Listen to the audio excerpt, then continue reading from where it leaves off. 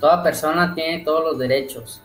y libertades proclamados en esta declaración, sin distinción alguna de raza, color, sexo, idioma, religión, opinión política o de cualquier otra índole, origen nacional o social, posición económica, nacimiento o cualquier otra condición. Además, no se hará distinción alguna fundada en la condición política,